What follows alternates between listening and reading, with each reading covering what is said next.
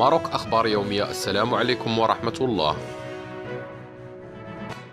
نجت الممثلة المغربية منال الصديقي من الموت عقب تعرضها لحادث سير خطير بمدينة فاس تتمثل في اصطدام شاحنة كبيرة لجمع النفايات بسيارتها بالقرب من طريق مزار ونشرت الممثلة المغربية على حسابها بالفيسبوك أمس الاثنين تدوينة طويلة أكدت من خلالها أن شاحنة خاصة بجمع النفايات صدمت سيارتها وجرتها لمسافة طويلة مشيرة إلى أنها ربطت الاتصال بشرطة التأمينات.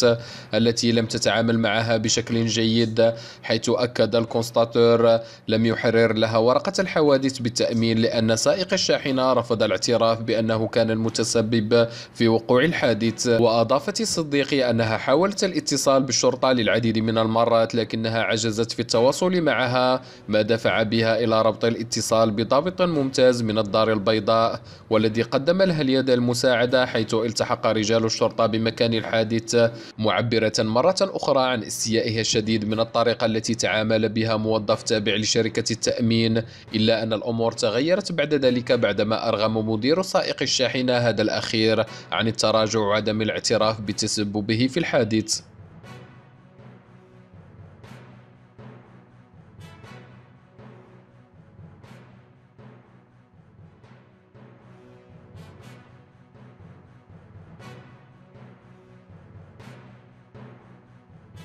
نشكركم على حسن المتابعة. قناة ماروك أخبار يومية.